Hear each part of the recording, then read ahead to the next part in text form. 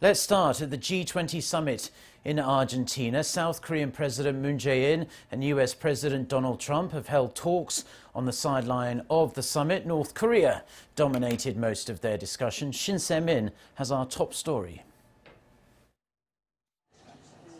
The leaders of South Korea and the United States in tune on North Korea. Presidents Moon Jae-in and Donald Trump sat down on the sidelines of the G20 summit in Argentina on Friday for a frank discussion with just their translators in attendance. They vowed to align their policies to ensure the denuclearization of the Korean peninsula remains on track.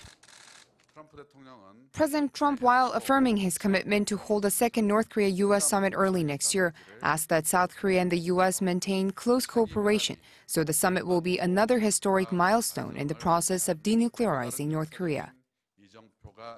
President Moon's chief press secretary explained that President Trump reaffirmed his pledge to hold a second summit with North Korean leader Kim Jong-un and noted that Kim's planned reciprocal visit to Seoul may create new momentum in efforts to denuclearize Pyongyang and establish peace in the region. Although the two did not go into details on when Kim might travel to the south, it's viewed that Kim's visit would help the ongoing push for peace. The Blue House official said the question now is on whether the North Korean leader sticks to his pledge. On North Korea sanctions, Presidents Moon and Trump agreed that keeping the regime under already imposed sanctions is necessary until the Korean peninsula is completely denuclearized. While the two allies share the goal of complete denuclearization, their approach on how to achieve it isn't in lockstep.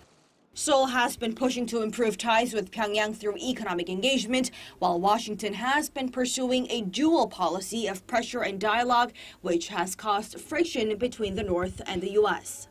The meeting between President Moon and Trump was a chance to reopen the possibility of Kim Jong-un's visit to Seoul by year's end, in the hope that it could give the stalled denuclearization process another push.